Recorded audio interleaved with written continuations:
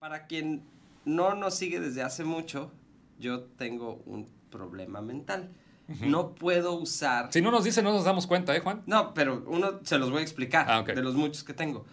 No puedo usar ropa que no sea la del día de la semana. Los lunes uso una camisa o playera o lo que sea, blanco, martes rojo, miércoles amarillo, jueves verde, viernes azul, Sí. sábado negro y domingo naranja. Cierto.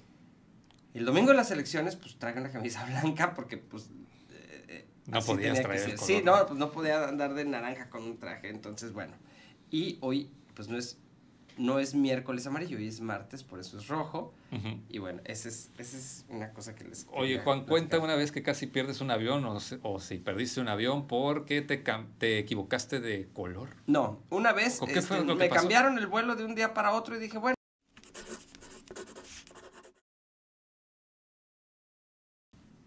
¿Cómo estás, Juan? Martes de tecnología. Buenos días. ¿Qué tal, José? Un gusto saludarte en este martes de tecnología. ¿Por qué es martes? Dirá la gente. Todo cambió después de, la, de las elecciones. No, lo que pasa es que el corretario tenía un asunto que atender y hoy es martes de corretario. Sí. Y entonces por eso hoy es martes de tecnología y creo que mañana será Miércoles miércoles, de corretario. O sea, hoy no es miércoles amarillo, hoy es martes rojo. Órale. Para quien no nos sigue desde hace mucho, yo tengo un problema mental. No puedo usar... Si no nos dice, no nos damos cuenta, ¿eh, Juan? No, pero uno se los voy a explicar Ah, de los muchos que tengo.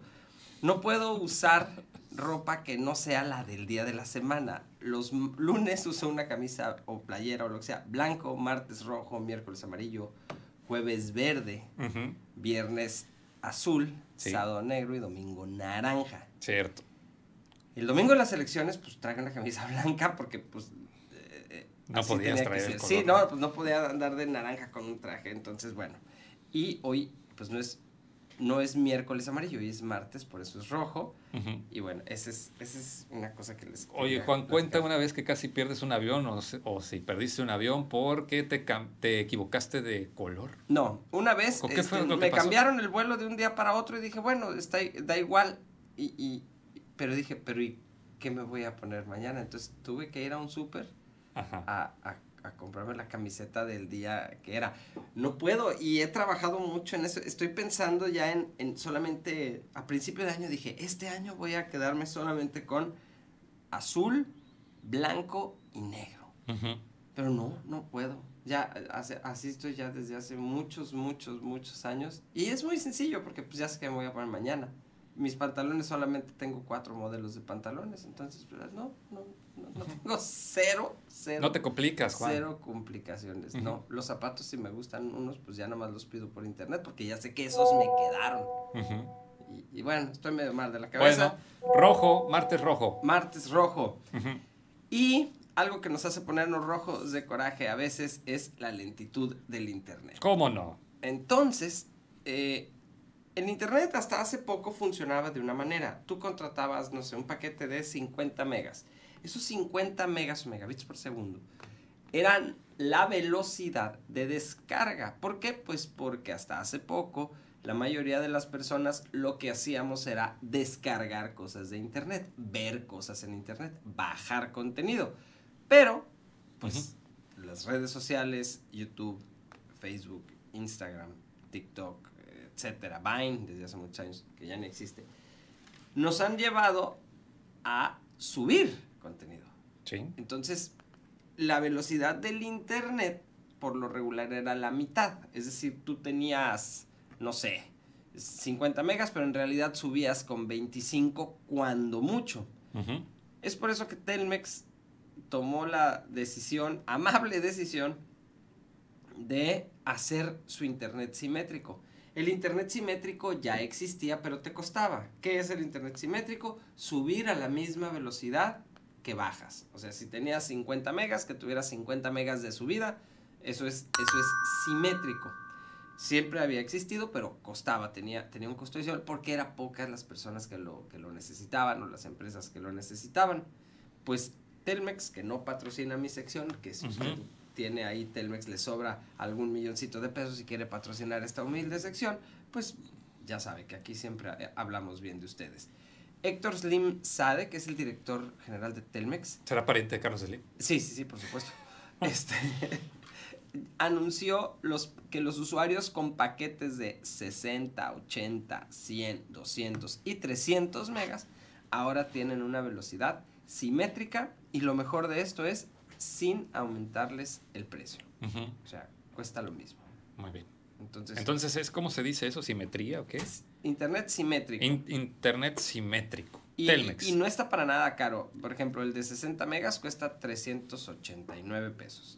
El de 100 megas cuesta 499 pesos. Y el más caro es el de 1000 megas, que son 1399 pesos al mes. Es, es difícil que alguien necesite 1000 megas de subida, Ujú. pero pues si quieres hacer stream, si quieres jugar estos videojuegos en línea y hacer la transmisión al mismo tiempo, es muy necesario que tengas internet simétrico.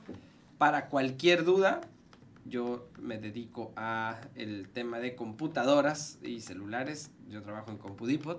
Entonces, me pueden mandar un mensaje si tienen algún problema con su compu, con su celular, al 6677 96 77 19. Me están preguntando que si cómo pueden checar la velocidad de su internet. Bueno, el de bajada, el más fácil es Fast. Esa paginita de Fast es, es muy, muy ¿Es buena. una página web? Sí. Pero el que les voy a decir ahorita que es speedtest.net, ese te dice tu velocidad de tanto de bajada como de subida.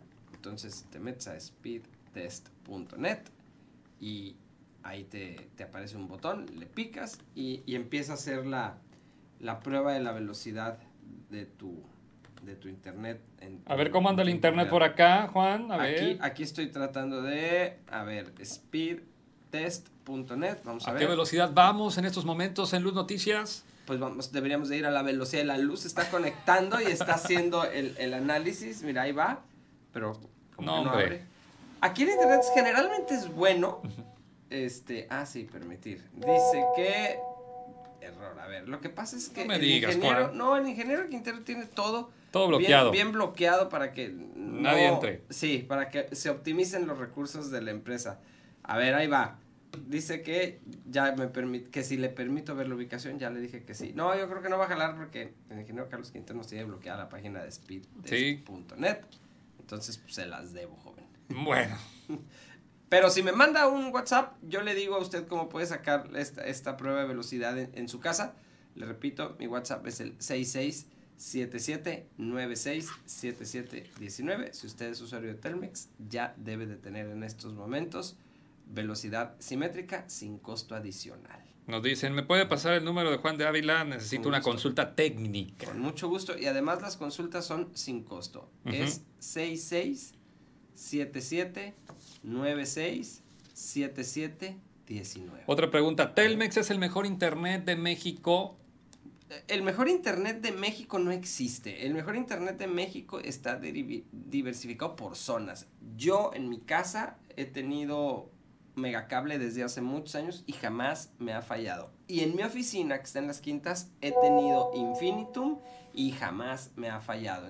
Eh, Pero al revés sí, o sea, Infinitum sí tenía algunas fallas en mi casa y, y, y Megacable también tenía algunas fallas en las quintas. Entonces, el mejor internet es el, el que no te falla. O sea, no les puedo yo decir, ah, vaya y contrate este o vaya y contrate aquel, porque depende muchísimo del sector en donde usted esté viviendo.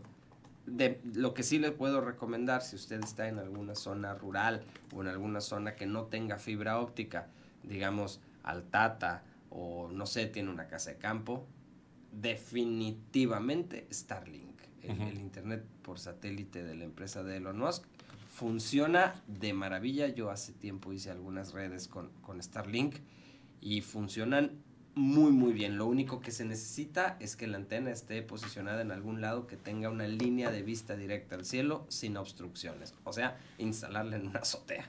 Muy bien, pues muchas gracias, Juan. Muchísimas gracias, José, a ti, al público que nos hace favor de escucharnos. La semana que entra estaremos regularizándonos con los miércoles de tecnología en miércoles. Muy bien. Tenemos que ir a un corte comercial y regresando.